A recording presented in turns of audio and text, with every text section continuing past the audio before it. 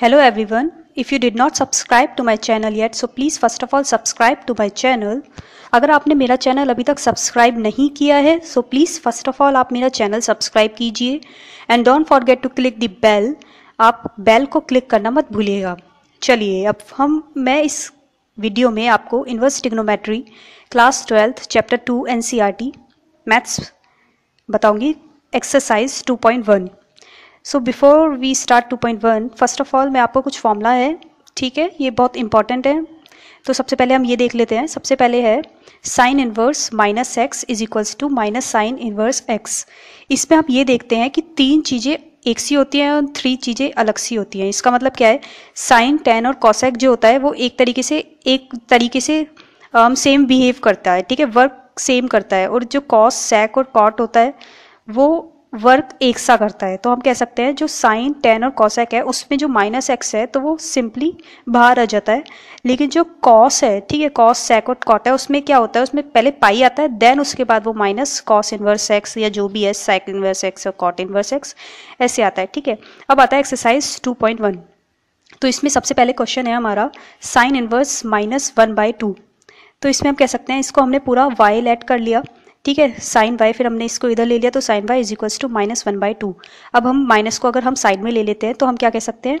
One by to को हम क्या कह सकते हैं? हम कह सकते हैं साइन पाई बाई सिक्स ठीक है तो ये हो जाएगा minus sine pi by six अब हम कह सकते हैं, अगर साइन होता है तो वो डायरेक्ट अंदर चला जाता है, उसमें कोई चेंजेस नहीं होते हैं, क्योंकि साइन टेन और कॉसेक में कोई चेंजेस नहीं होते हैं. Changes come to cosec and cot ठीक है तो इसमें साइन है तो सिंपली इसके अंदर चला जाएगा। फिर इसमें ये हमें ये पता होता है, साइन की value minus pi by two से पाई बाई टू में लाई करती है। मतलब इसका मतलब होता है क्लोज ब्रैकेट। इसका मतलब है ये भी हो सकती हैं या इसके बीच में हो सकती हैं। ठीक है तो ये क्या इनके बीच में लाई कर रही है? डेफिनेटली लाई कर रही है तो हमारा आंसर हो जाएगा ये। ठीक है, कैसे लाई करती है हमें पता कैसे चलेगा? लाई कर भी रही है, नहीं समझ नहीं आ रहा जैसे हमें कि लाई करती भी है या नहीं। तो हम इसमें क्या करते हैं, हम पाई की वैल्यू जो होती है वो one eighty D one eighty होती है, ठीक है। तो हम कह सकते हैं इसे वन एट्टी अपॉन टू क्या होता है? नाइन्टी तो इसका मतलब माइनस नाइन्टी से नाइन्टी के बीच में तो हम इसे अगर minus one eighty upon six करके जो भी आएगी वैल्यू क्या इसमें लाई करती है? अगर आएगी तो पक्का हम ईजिली वे में इसकी तरह मतलब हम ढंग से देख सकते हैं कि क्या लाइक करती है या नहीं। अगर इसमें समझ नहीं आता है तो ठीक है? अब हमारा सेकेंड क्वेश्चन है, हमारा कॉस इनवर्स दिस तो हम इसमें क्या करते हैं? इसमें सिंपली हम सेम एज इट इज़ इसकी तरह करते हैं। इसमें is equals to y then cos y is equals to this ठीक है, हम इसको पाई बाय सिक्स लिख सकते हैं। हम सेम इसमें भी हमें, हम करते हैं कि ज़ीरो से पाई में इसकी वैल्यू कॉस की होती है ज़ीरो से पाई ज़ीरो भी हो सकती है पाई भी हो सकती है बिकॉज़ क्लोज ब्रैकेट है और इसके बीच में हो सकती है। क्या इसमें लाई करती है? हम उसके, उस मेथड से भी देख सकते हैं या अगर ऐसे भी समझ आता है तो हम ऐसे भी देख सकते हैं। हाँ लाई करती है। ठीक है तो आंसर इज़ दिस ठीक है नेक्स्ट क्वेश्चन है हमारा ये। ठीक है, इसमें क्या होता है? टू किस पे लाई करता है हमारा? पाई बाय सिक्स पे, ठीक है, पाई बाय सिक्स क्या लाई करता है? इसमें क्या होता है? इसमें होता है माइनस पाई बाय टू से पाई बाय टू लेकिन ज़ीरो नहीं होना चाहिए, ठीक है? क्या इसमें लाई करता है? ये हम उससे चेक कर सकते हैं या ऐसे ही हमें पता चल रहा है लाई करता है, ठीक है? तो हम इसमें सिंपली हमारा आंसर आ जाता है। देन फोर्थ क्वेश्चन है हमारा ये, ठीक है? इसमें भी सेम हमारा ऐसी है टेन हमें पता है sine tan cos sorry sine tan cosec तो सेम इसमें अंदर चला जाता है, ठीक है? और इसमें क्या है हमारा? ये इसमें हमारा माइनस पाई बाय टू से पाई बाय टू तक होता है। रेंज इसकी वैल्यू इसमें वेरी लाई कर रही है क्या? हाँ कर रही है। ठीक है तो इसमें हमारा आंसर आ जाता है ये। देन हमारा आता है हमारा cos inverse minus one by two is equals to y ठीक है, इस पर देखते हैं हम। इसमें क्या लाई करता है? ज़ीरो से पाई के बीच में लाई कर रही है क्या ये? नहीं कर रहा। ठीक है, अगर हम इसे, देखो, सबसे पहले हम इसे अंदर लेंगे। ठीक है कॉस सैक और कॉट में क्या होता है? हम जब कुछ फ़ंक्शंस कर रहे होते हैं मतलब तो फिर थोड़ा चेंजेस होती है। ठीक है तो हम इसे लिख सकते हैं। Cos pi minus pi by three क्यों लिख सकते हैं? देखो, सबसे पहले मैंने देख रख, बताया है इसमें cos pi minus theta is equals to minus cos theta होता है। क्यों? क्योंकि हमारी जो क्वाड्रेंट होता है, उसमें अगर हम पाए में से कुछ माइनस करते हैं राइट कुछ माइनस करते हैं तो वो सेकंड क्वाड्रेंट में आता है। और सेकंड क्वाड्रेंट में हमारा कॉस जो होता है, वो माइनस होता है। ठीक है तो सेम एज इट इज़ इसमें। अगर हम ये लिख सकते हैं इसको ये भी लिख सकते हैं, ठीक है? तो एज इट इज़ इसको हम ये भी लिख सकते हैं। ठीक है, इससे हमें समझ आ जाता है। अगर आपको ये समझ नहीं आया है या फिर ऐसे क्वेश्चन समझ नहीं आते तो प्लीज़ कमेंट करना।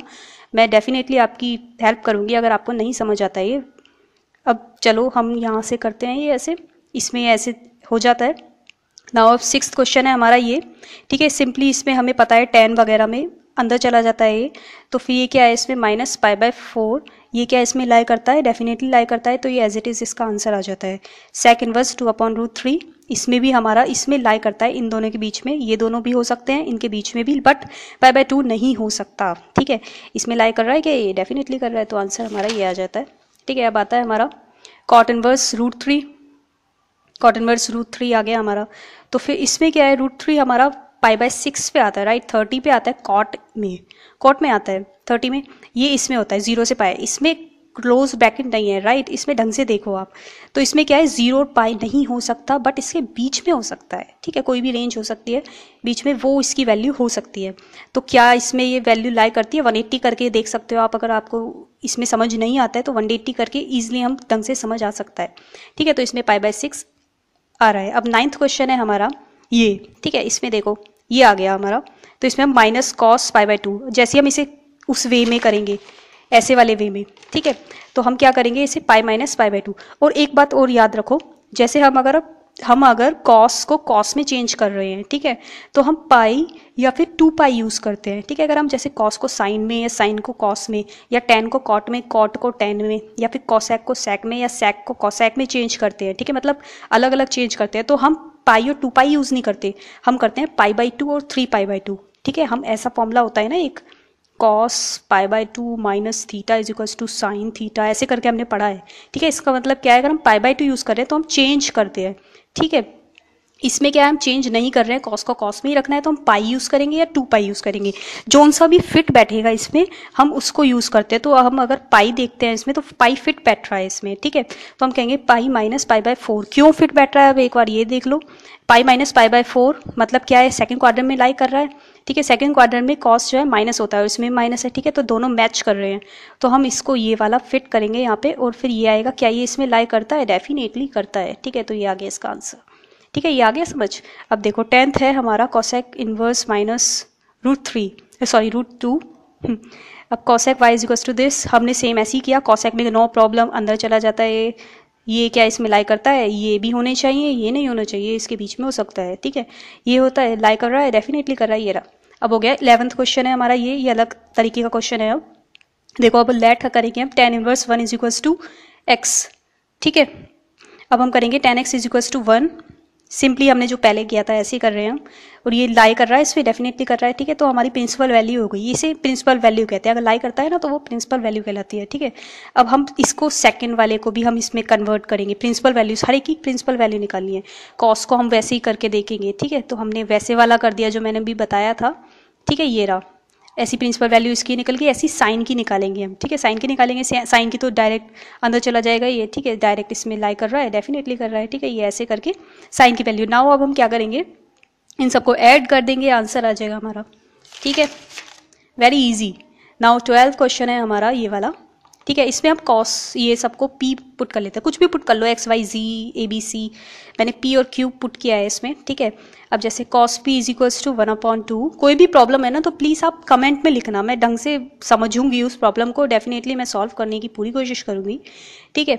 अब देखो cos p is equals to one upon two है, ये आ गया। क्या इसमें लाई कर रहा है? डेफिनेटली कर रहा है। हमें कोई प्रॉब्लम नहीं है कॉस में, हमें करने की ज़रूरत नहीं पड़ी, ठीक है। अब आता है, हमारा प्रिंसिपल वैल्यू आ गई है।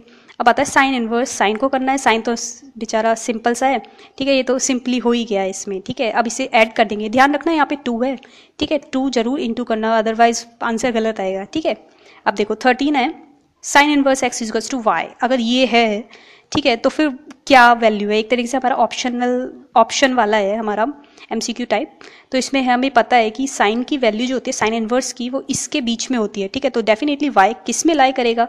इससे इससे इससे. और ये है क्लोज ब्रैकेट डेफिनेटली तो ये इक्वल्स का साइन है मतलब ये भी आ सकते हैं. तो answer is b okay now third fourteen है. ये है हमारा फोर्टीन इसमें क्या है, हमारा लेट कर दिया हमने पी कुछ भी कर सकते हैं, ठीक है? पी कर दिया हमने। देन इसको ऐसे सेम कर दिया, इसकी वैल्यू इसमें लाई कर दी, ठीक है? प्रिंसिपल वैल्यू इसकी आ गई देन सेक को भी ऐसे कर लिया हमने, ठीक है? सेक में क्या हो गया? सेक में प्रॉब्लम आ रही है वही वाली, ठीक है? लाइन नहीं कर पा रहा है इसमें इसमें लाइन नहीं हो पा रहा है ये, ठीक है? तो हम क्या करेंगे? वही वाला फंडा अपनाएँगे, पाई या टू पाई, क्योंकि इसमें हमें सेक को सेक को सेक में ही रखना है, हमें कॉसेक में नहीं करना है इसे चेंज ठीक है? अदरवाइज़ हम पाई बाय टू या फिर three pi by two use करते हैं, ठीक है? तो इसमें हमने क्या कर लिया? दिस इक्वल्स टू दिस ठीक है? तो हमने इसकी जगह ये कर लिया, फिर हमें ये पता है इसको हम ऐसे लिख सकते हैं, ठीक है?